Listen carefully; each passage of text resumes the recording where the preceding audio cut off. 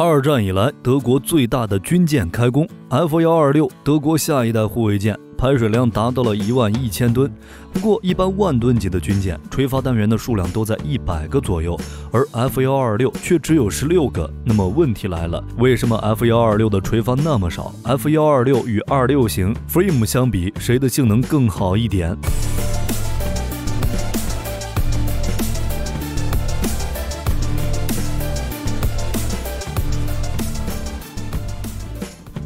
目前，德国 F 幺二六护卫舰已经在 p e n n y w i f t 造船厂开始建造，目的是取代在九十年代中期服役的 F 幺二三勃兰登堡级。第一艘船计划于二零二八年交付，剩下的将在二零三一年之前交付。按照德国的说法，F 幺二六建成之后，将成为德国自二战之后吨位最大、火力最强的军舰。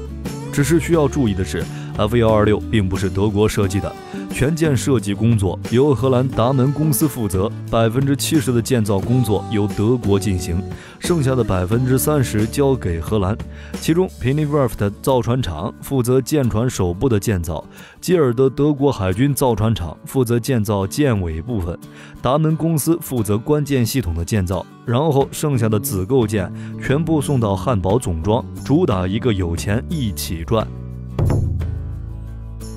至于 F 幺二六的性能也还能说得过去，其采用了隐身化设计，比如封闭式综合射频一体化桅杆，雷达也是 F 幺二五型同款，亨索尔特 TRS 四 D NT，还有泰雷兹以及守门员，这点没什么稀奇。F 幺二六的特点是大，满载排水量一万一千吨，比美国的伯克级驱逐舰都要大。就算是最新的伯克三，满载排水量也才九千五百五十八吨。正常来说，F 幺二六这样的万吨军舰火力是很强的，垂发单元的数量都在一百个左右，还有什么四面相控阵雷达，无论是防空反潜还是反舰作战都没什么问题。但是德国的 F 幺二六身子骨却显得很是薄弱。其主炮是一门来自奥托梅莱拉的127毫米舰炮，性能中规中矩。反舰导弹则是来自挪威康斯伯格公司的 NSM，也可以用作对地攻击，只是攻击力不行。F126 缺乏像战斧这样的远程巡航导弹，最重要的，垂发单元的数量太少了，一艘万吨军舰就只有16个 Mk41 垂发单元。通过一坑四弹的方式，也仅仅只能装备六十四枚 ESSM，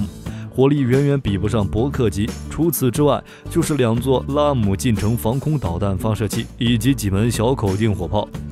反舰火力方面，F 幺二六的性能还可以，与伯克级驱逐舰在同一水平，可以搭载两架 NH 九零反潜直升机。或者是虎式武装直升机，当然也可以顺应潮流使用无人机。就目前的情况来看，抛开吨位的话，F 幺二六的整体作战能力就是美国四千吨级军舰的水平，其舰载武器甚至还比不过最上级。不过从另一个方面来看，F 幺二六的排水量达到万吨，也就意味着后期改装的难度不高，完全可以在前部布置三十二单元的垂发，舰身中部也可以额外加装三十二单元。至于远程巡航导弹，德国还没使用过这类武器，目前也没有这样做的计划。但是如果要加装的话，大概率会是超音速打击武器。德国和挪威目前正在开发这种导弹。作为 NSM 的继任者，至于 F 幺二六的其他亮点，也能找到一两个，比如核心操作人员少、连续部署能力强，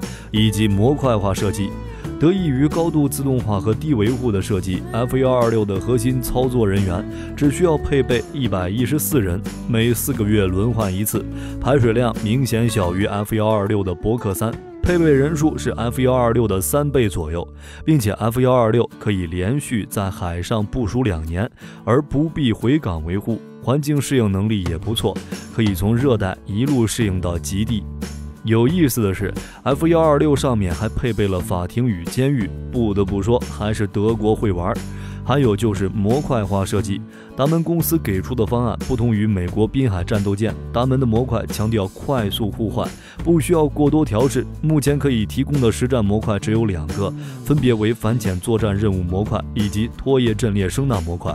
其他后续模块如反水雷模块、防空模块、医疗模块等等正在开发当中。其他的亮点也没什么了，多用途性算是军舰的标配了。目前，德国计划建造四艘 F 幺二六，后还可能根据需要再追加两艘，只是不知道钱够不够。F 幺二六还是挺贵的。虽然俄乌战争爆发之后，德国武装部队的预算变多，但是德国海军并没有因此受益，陆军也是如此。开发福克斯继任者的计划被搁置，新型短程防空系统的预算减半，其最大受益者是空军，F 三五、舰三都是大单子。空军吃肉，海军、陆军最多喝个汤。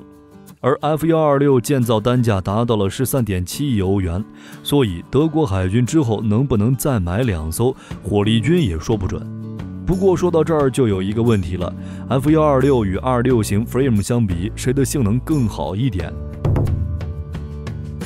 就价格来说，很明显是 Frame 更亲民一点。法国、意大利设计 Frame 时，就尽可能的采用民用标准以及成熟设计来降低单件成本，以至于法国自用的阿基坦级护卫舰单艘售价只有三亿欧元左右，意大利版本的贝尔加米尼级护卫舰成本则是三点七亿欧元之间。反观二六型与 F 幺二六，价格一个比一个贵，F 幺二六单价是三点七亿欧元，而首批三艘二六型平均造价接近十二亿英镑。英国皇家海军本来计划建造十三艘一比一替换二三型，但是因为太贵，最终得到批准的只有八艘，其他则用三一型通用护卫舰填补。而且英国卖给澳大利亚的猎人级单艘造价二十五亿美元左右，贵到爆炸。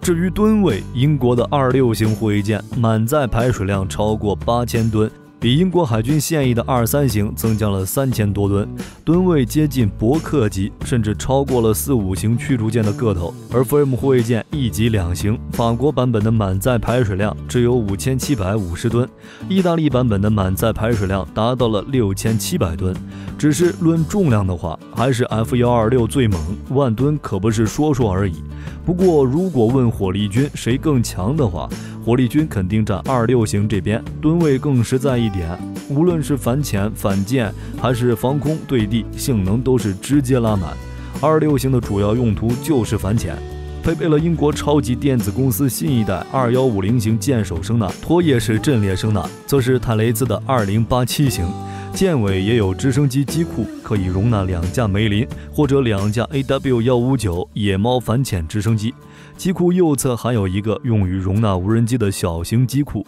至于垂发，那就更猛了。二六型护卫舰的舰桥前方配备了二十四单元 Mk 四一垂发，可以发射战斧阿斯洛克反潜火箭弹，也可以是四连装的海麻雀导弹。算下来就是九十六枚 ESSM，而 F 幺二六型只有六十四枚 ESSM。二六型的舰桥前后还各安装二十四单元的海兽体发射系统。也就是一坑四弹，一共可以装填一百九十二枚防空导弹，直接碾压 F 幺二六。当然，Mk 四五舰炮密集阵也不能少。至于 Frame 垂发数量比 F 幺二六多，比二六型少。比如法国反潜型的阿基坦级装备了三十二单元垂发，其中十六单元为席尔瓦 A 四三，可以填装十六枚紫苑幺五；十六单元为席尔瓦 A 七零，可以发射 Skylab Naval 巡航导弹。不过导弹的数量要比 F 幺二六稍微少一点，只是这点小问题在价格面前完全可以忽略不计。意大利的贝尔加米尼级护卫舰垂发选择跟法国的差不多。所以，就目前的情况来看，F 幺二六这样一艘万吨军舰，攻击火力与排水量一点都不搭，完全没有发挥出一艘大吨位舰艇应有的实力。与其他同吨位舰艇相比，F 幺二六的优势并不明显，也就后勤简单点，需要的人少一点，其他也没什么了。与自己吨位更小的舰艇相比，比如 Frame，价格又太贵了，直接限制了其在国际市场上的竞争力。如果让火力军在欧洲选择的话，F 幺二六连候选名单都上不去。当然，出现这种情况，主要还是因为德国不太需要，建造水平也很一般。